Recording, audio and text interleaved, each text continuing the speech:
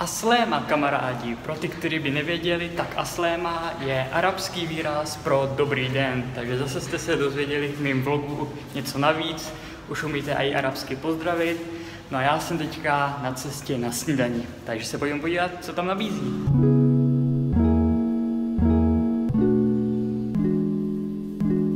A tady můžete vidět vlastně celý hotelový komplex. Skládá se z 26 různých míst takže je to fakt náročný. A ještě jako správný Čech valím s ručníkama na lehátka na pláž. Pěkně to obsadit, aby jsme si měli kam lehnout. Jo, jdu dobře.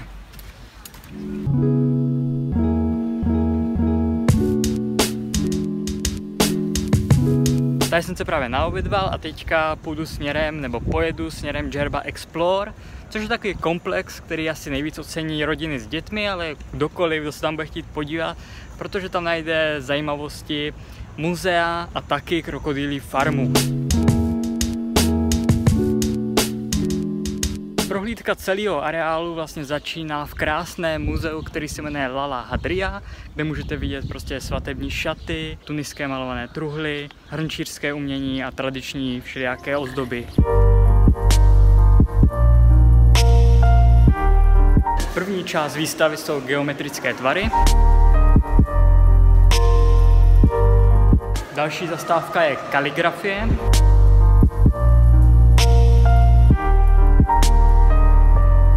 Další část je na motivy.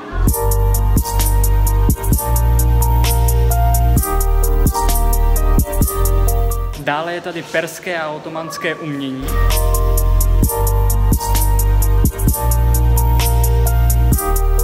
Je tady umění Magrébu.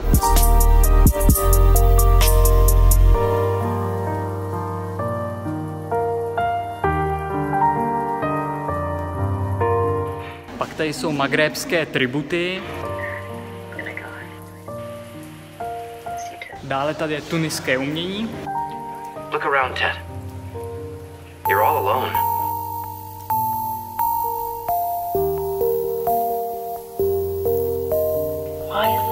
Pak je tady dekor. Hard. I don't want to fight all the time. I don't know, it's awful. Bohužel zahrada je zavřená, do té se teďka nedostaneme. Pak tady jsou dva názvy, které nevím, co vůbec znamenají.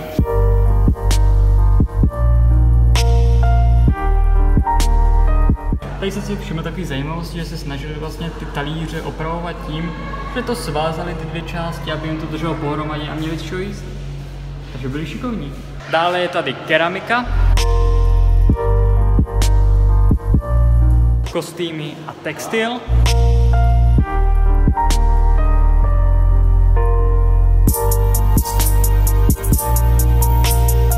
Holky, a teď mi schválně řekněte, která by na těchto botech chtěla chodit. No, myslím, že já bych se na tom určitě zabil. Dále je tady bižutérie. No a poslední jsou tapisérie.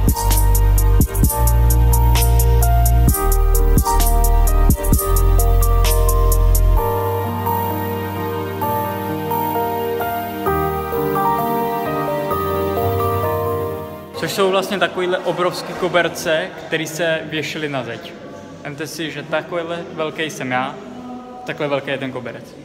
No a to je vlastně z tady toho prvního muzea úplně všechno. No a z muzea vkročíte do botanické zahrady, která má připomínat vonavý ráj. Najdete zde kaktusy, palmy anebo mátu.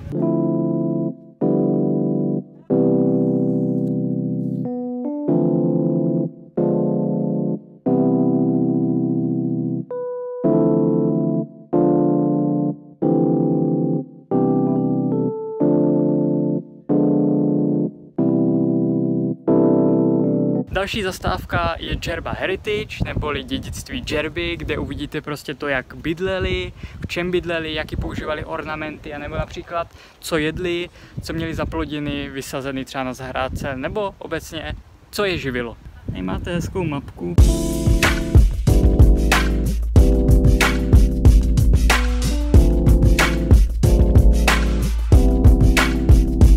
No, takže my známe normální jabka a tady mají granátový jablka.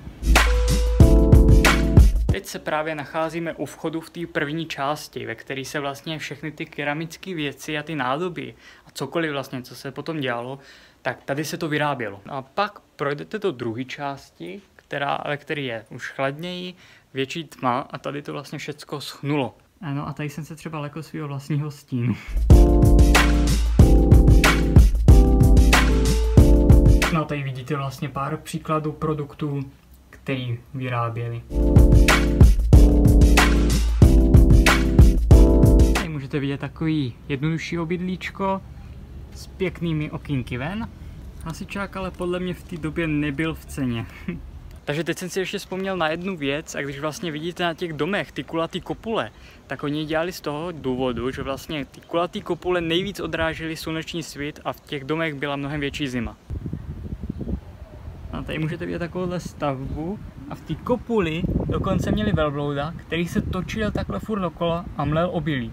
Tak jsem zvědavý, jestli to uvidíme i vevnitř. Dlouhá chodbička.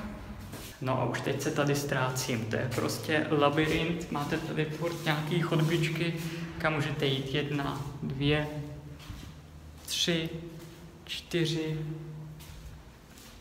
pět. Je, ale chládeček tady je moc pěkný. No tak tady můžete vidět vlastně tu kopuli, ve který byl ten velbloud a takhle se točil dokola a mlel, ať už obědy nebo cokoliv jiného, co jste potřebovali namlít. To je zajímavé využití zvířat. Teď se podíváme do obydlí, ve kterým bydlel člověk, který tkal různé oblečení a nebo například koberce.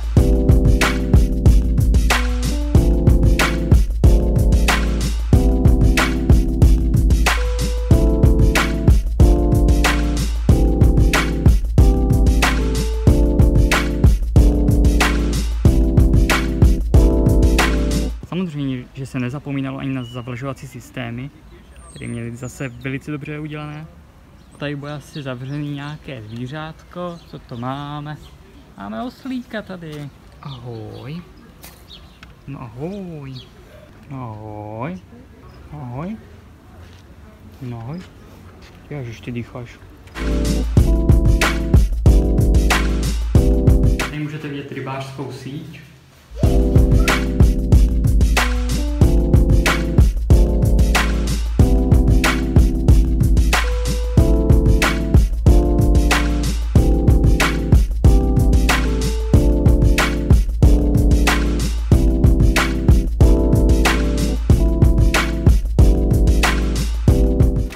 Vidět zajímavé opevnění, který vlastně sloužilo pro rozsáhlejší rodiny. To znamená, pokud rodina bydlela s více členama rodiny, měli tam babičky a dědečky, nebo strýci a další, takže vlastně tady můžete vidět, to bylo postavené takový opevnění, byla zachována příroda, vlastně byly jenom ten kontakt s přírodou byl jenom pomocí těch dveří, okna byly jenom v horních patrech. Předpokládám, že se umývali, protože tady je udělaný odtok vody.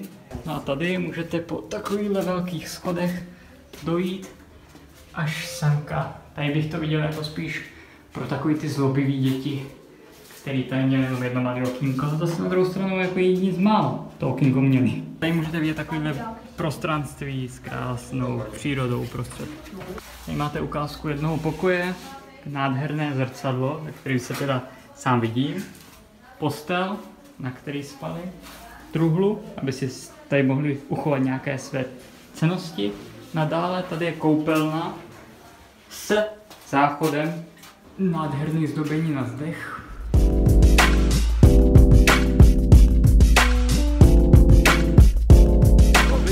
No a nejzajímavější částí areálu je určitě krokodýlí farma, kde chovají přes 400 nilských krokodýlů, kteří dosahují až 4 metrů a 250 kg. Tak se na to pojďme podívat.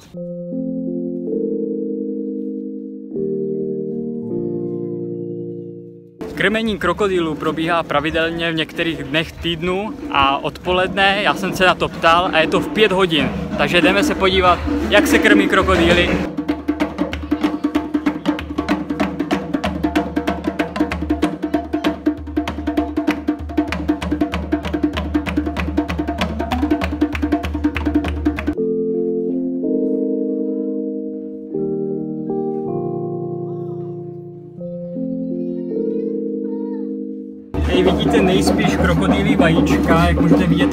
Mnohem podlouhlejší než ty naše slepičí.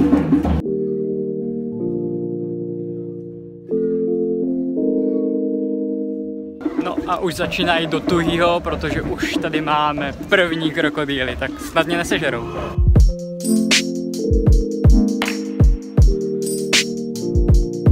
Tady si odpočívají pod palmou pěkně v chládku.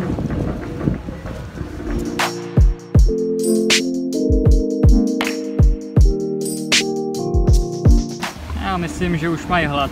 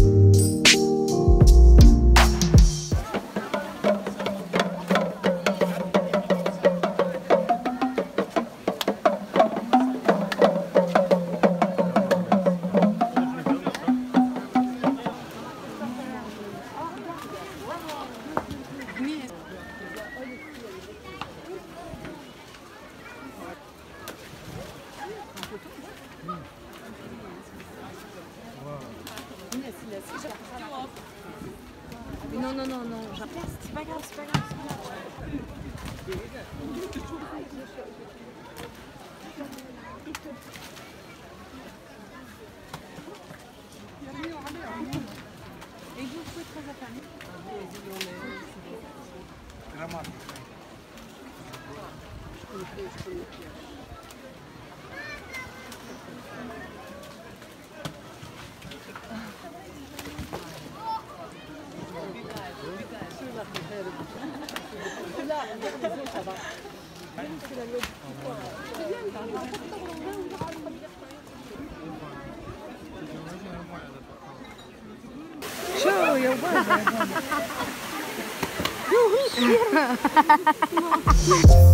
a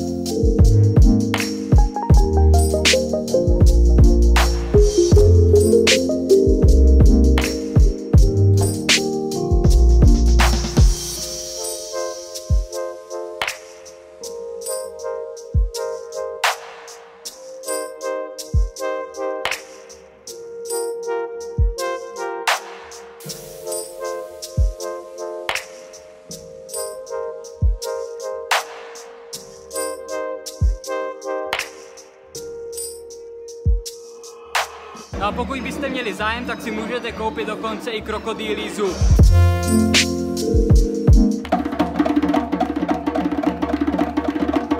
Takže dokonce jsem viděl kromě krmení krokodýlů i samotný maličký krokodýlky, který jsem si mohl vzít do ruky, což byla bomba. Mají takovou zajímavou texturu, možná jsem to ani nečekal, trošičku dohadu, ale taková spíš pevnější, nevím jak, k čemu to přirovnat, asi musíte fakt to krokodýla někdy držet sami v ruce, ale byla to opravdu bombová příležitost. A teďka už se dívám na západ slunce, který je za mnou. No a ještě jsem si vyšel na tady tu vyhlídku, protože vidíte celou tu krokodýlí farmu. A můžete se podívat, jak, o jaký rozloze to je, ještě jednou říkám, přes 400 nilských krokodýlů.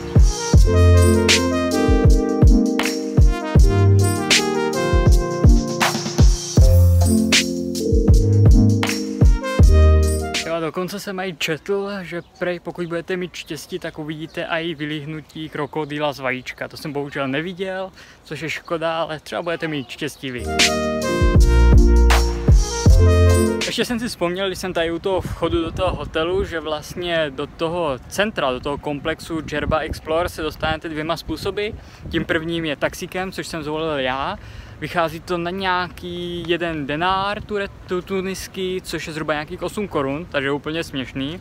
A druhá věc je, že se tam můžete dostat pomocí vláčku, který vlastně odjíždí od některých hotelů, od kterých nevím, to si musíte zjistit, ale je tady možnost i taková třeba pro malé děti. Máme pátek večer a jak můžete vidět za mnou, tak moře a i pláž je plná domorodců, kteří se chcou taky odpočinout, chcou se vykoupat, chcou si užít trošku toho moře. Takže zhodnocení dnešního dne Jerba Explore určitě doporučuji navštívit, podíváte se do historie vlastně celé Jerby, naučíte se a poznáte takové zajímavosti a podíváte se i na krokodýly farmu a pokud budete mít štěstí, uvidíte krmení krokodýlu nebo například vylíhnutí z vajíčka nějakého malého krokodýlka. Já doufám, že se vám dnešní video líbilo. Vy víte, co máte udělat. Like, odběr, napsat nějaký komentář, napište, jestli jste někdy drželi krokodýla v ruce a taky samozřejmě video sdílet, aby ho vidělo co nejvíc lidí. No a my se uvidíme u nějakého dalšího. Tak zatím.